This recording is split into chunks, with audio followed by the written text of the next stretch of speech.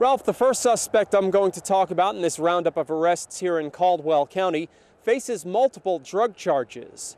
38-year-old Jason Brad Earp of Nutridge Lane in Lenoir was arrested by Lenoir police officers Monday on one felony count of possession of methamphetamine and two misdemeanor counts of possession of drug paraphernalia and possession of marijuana up to half an ounce. He's also charged with fictitious or altered title registration card or tag, providing fictitious information to a police officer, driving while license revoked, and two counts of failure to appear. Earp was taken to the Caldwell County Detention Center, where bond was set at $64,000 secured. A district court appearance is scheduled for May 6th.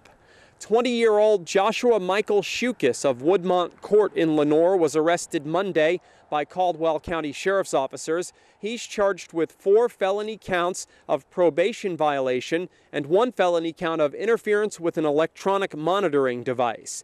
Shukis was taken to the Caldwell County Detention Center with bond set at $45,000 secured.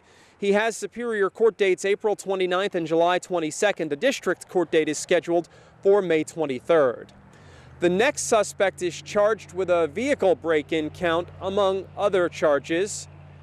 43-year-old Bradford Lydell Cash of Eastview Street in Morganton was arrested last Friday by Lenoir police officers on one felony count of breaking and entering into a motor vehicle and one felony count of larceny. He's also charged with one misdemeanor count of resist, delay, and obstruct a public officer.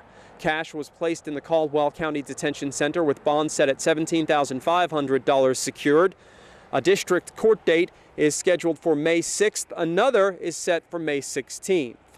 23-year-old Chase Nathaniel Webb of Hayes Street in Lenoir was arrested Monday by Lenoir police officers. He's charged with one felony count of larceny of a firearm and one felony count of possession of a stolen firearm.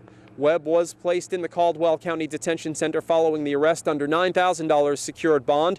He was scheduled to appear in district court in Lenoir yesterday. Reporting from Caldwell County for WHKY TV News, I'm Rob Eastwood. Back to you.